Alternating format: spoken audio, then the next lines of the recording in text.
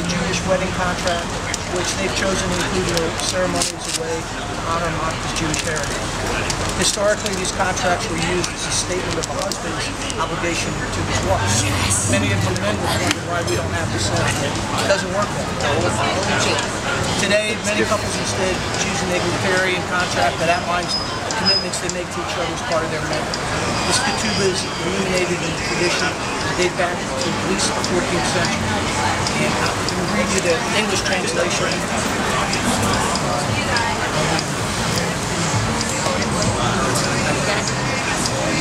On the first day of the month of August in the year 2013, here in Decatur, Georgia, Monica Ann Spitzer, daughter of Philip and Janice, and Zlatko Unger, son of Zoran and Dragna, entered the covenant of marriage. As beloved, beloveds and friends, we choose to walk life's path together.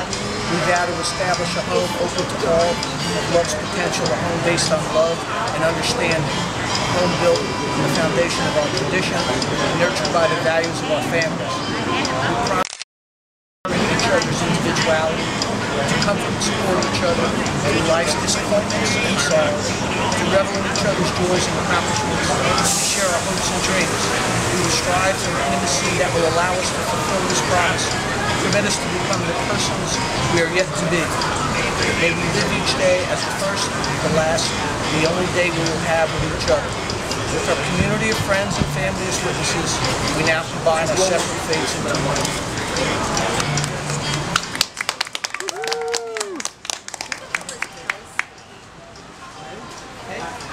Zlatko, you have Monica as your wife to live together in marriage.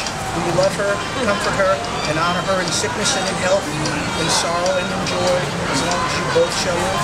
Um, I asked my legal advice person. I do. I will. I do, and I will. All the things. Monica, will you have Zlatko as your husband to live together in marriage? Will you love him, comfort him, and honor him in sickness and in health, in joy and in sorrow, as long as you both live? By the power vested in me by the state of Georgia, I now pronounce you husband.